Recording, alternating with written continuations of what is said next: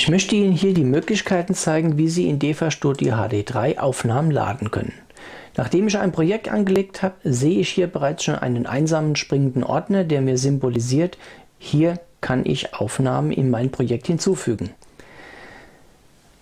Wenn ich diesen Button anselektiere, öffnet sich automatisch das zuletzt verwendete Verzeichnis. In meinem Fall ist das hier auf dem lokalen Datenträger meine Aufnahmen Dort der Ordner stirbt langsam und hier meine Aufnahme. Ich klicke diese an und Studio HD stellt automatisch fest, es besteht aus mehreren Einzeldateien. Es fragt nach, ob es diese Dateien zusammenfassen soll und nach einem Klick auf Ja werden diese automatisch auch in einem einzelnen Eintrag geladen. Sie sehen hier 10,7 GB. Es ist eine HD-Aufnahme und sie besteht aus acht einzelnen Dateien. Es gibt aber auch die Möglichkeit, direkt über den Datei-Explorer zu gehen. Das heißt, ich wähle hier in dem Moment meinen ganz normalen Datei-Explorer an, gehe auf meinen Computer, meine Festplatte, meine Aufnahmen, auch hier den Film stirbt langsam. Ich ziehe diesmal hier den gesamten Ordner einfach in die Aufnahme hinüber. Das Programm fragt nach, ob es diese Aufnahme zusammenfassen soll. Mit einem Klick auf Ja wird auch der Film genauso wieder geladen.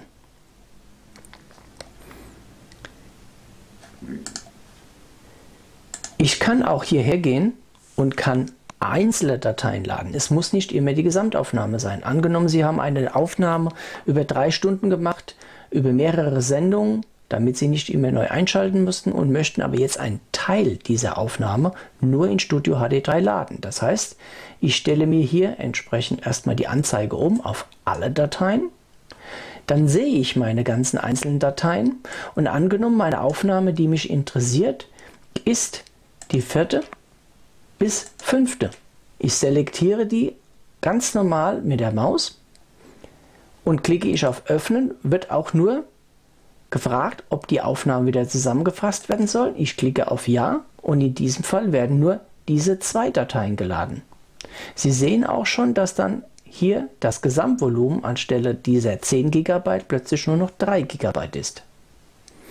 Genauso kann ich hier eine so geladene Aufnahme auch auftrennen. Das heißt, ich möchte jetzt diese Aufnahme zerlegen lassen in die ehemals einzelnen Teildateien. Ich klicke sie an und sofort verschwindet die gemeinschaftliche Aufnahme und es entstehen zwei Einzelaufnahmen, die jeweils immer nur einen Teil der Gesamtaufnahme beinhalten.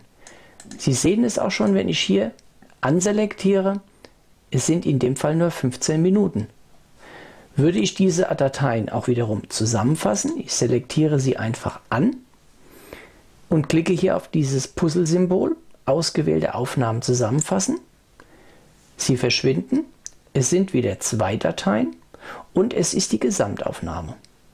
Klicke ich die Aufnahme an, gehe in meine Zeitleiste, sehen Sie auch, es sind 35 Minuten. Auf diese Art und Weise können Sie Einzeldateien, Dateien aufteilen, Dateien wieder zusammenfassen oder auch im Prinzip Gesamtaufnahmen einfach und komfortabel laden lassen.